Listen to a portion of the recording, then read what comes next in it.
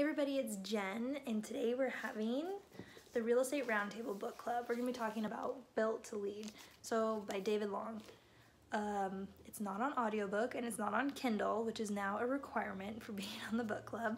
But I picked this book up at my work, and my manager let me borrow it.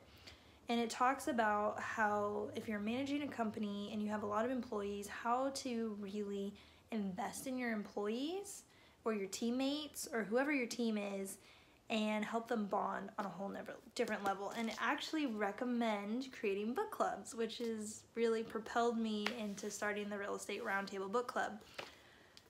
You know setting an hour a week for everyone to sit down and not really talk about work or the projects you're on but about like the book that you guys are reading is really going to help introverts come out and bring some good ideas that maybe all the extroverts are bringing to the table and not really, you know, helping the introverts really bring their ideas to the table while the extroverts can kind of, you know, step back a little bit. It's also when you really put time and effort into developing your employees or your teammates or anyone around you, you're just going to make the whole team better, which is what it talks about. You know, what do people want more than sex and money is recognition.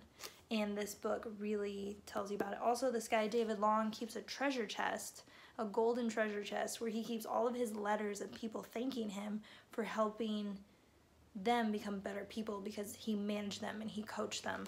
So i thought this would be a great book because it recommends starting book clubs with your teammates with your family, with you know anyone that you work with or spend a lot of time with, this is a great way to build lasting relationships to create power teams, and that's why I chose this book.